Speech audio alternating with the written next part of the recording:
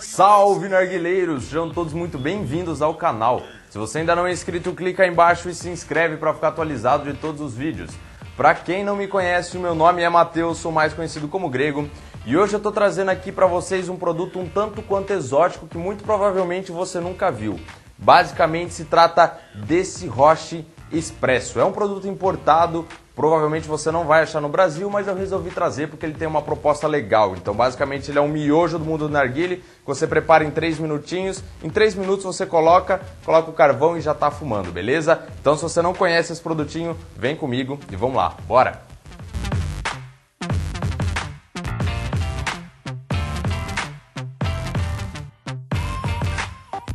Bom, vamos lá então, galera. Ela veio pra gente nessa caixinha aqui, que aliás eu ganhei do Sakamoto. Então, Saka, muito obrigado por ter me dado isso daqui pra gente fazer essa review e essa análise e testar esse Rocha Express. Tá, aqui tá escrito em outra língua, então não vou conseguir traduzir exatamente o que tá escrito aqui pra vocês, mas dá pra ver que alguma coisa é importada. Dentro da caixinha... Pera aí que tá difícil. Dentro da caixinha vem pra gente um roche que aparentemente é de porcelana, e se você observar, cara, ele é totalmente vazado, ou seja, ele é totalmente diferente do que a gente está acostumado a ver de rocha aqui no Brasil. E ele serve justamente para a gente usar essa cápsula para fumar. Então você não consegue colocar a essência aqui dentro e fumar sem ser com a cápsula. Vem também duas cápsulas dessa daqui, Cherry Cola. Uma eu já fumei e agora vou fumar a segunda junto com vocês aí, que basicamente é um potinho daqueles café expresso, cara. Só que dentro vem o tabaco, Embaixo já vem furadinho, em cima também, mas ele vem com esse selo para proteger e evitar que, que entre alguma coisa ou com que vaze melaço. Então, basicamente, o que você precisa fazer é pegar a sua cápsula, encaixar no seu roche. Perdão, errei aqui, hein?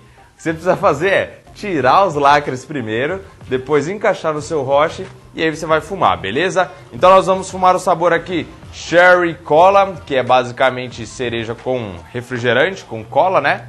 E o nosso único trabalho é encaixar aqui, tirar e eu já volto para vocês fumando, demorou? Bora! Bom, vamos lá galera, voltei aqui, estou usando dois carvões, fiz um cozimento de mais ou menos 3 a 4 minutos, tá?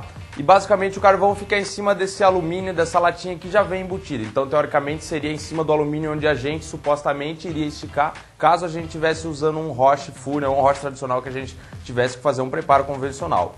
Como ele já vem desse jeito, você só tira o lacrezinho, coloca o carvão e boa. Vamos dar aquelas três puxadinhas então para falar a respeito do sabor para vocês.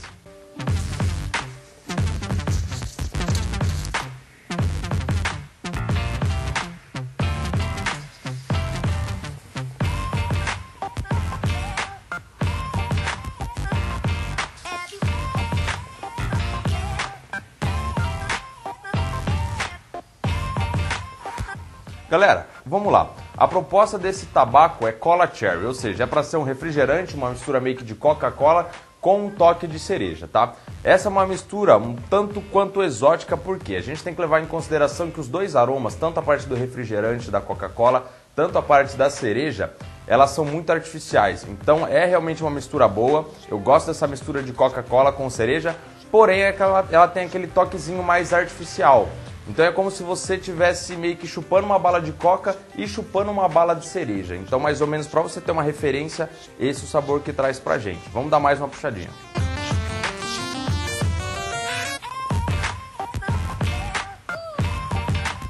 Cara, embora ela seja um tanto quanto artificial, eu acho que o sabor ele tem uma intensidade legal e o controle de calor dá para ser feito de uma forma fácil, já que lá dentro dessa latinha, eu já cheguei a abrir uma para dar uma olhada, o tabaco ele é num nível relativamente baixo, então ele tem uma distância maior entre o carvão e o tabaco e faz com que você consiga ter um controle de calor melhor. Em relação ao fluxo, o fluxo é legal, porém ele é um pouco mais restrito do que a gente está habituado a fumar aqui no Brasil, tá? Talvez ele iria se aproximar mais do que, o, que os árabes fumam, que eles gostam de fazer pouca furação, então fica uma furação e um fluxo um pouco mais restrito. Mas não é nada que atrapalhe a nossa sessão. Mas o que me chamou a atenção mesmo nesse roche nesse produto que eu quis trazer para você é justamente essa facilidade, cara, porque ele é praticamente um rocha expresso, ele é meio que um miojo do mundo do narguile. Você pega o seu rocha, coloca aqui, tira o papelzinho, coloca, joga o carvão e pau. Então, se você está numa festa, se você está num rolê, ou se você está com pouco tempo e quer fumar aquele roche rápido, cara, só coloca, joga o carvão, Faz um cozimento simples, controle de calor é tranquilo. Eu só não sei se vocês vão achar isso aqui no Brasil, até porque esse é um produto importado. Ganhei do nosso queridíssimo Gabriel Sakamoto, ele me deu de presente quando fui fazer a gravação com ele lá. Mas acho que vale a pena a proposta, acho que vale a pena o produto. E vale a pena para você que é narguileiro conhecer quais são as variedades que a gente tem de produto no mercado. Beleza? Então se você gostou, dá um like aí pra gente, se inscreve no canal, compartilha com seus amigos e entra nas nossas redes sociais. Segue a gente no Instagram e no Facebook, beleza? No mais é isso, muitíssimo obrigado por ter assistido esse vídeo. Valeu, falou e até a próxima. É nóis!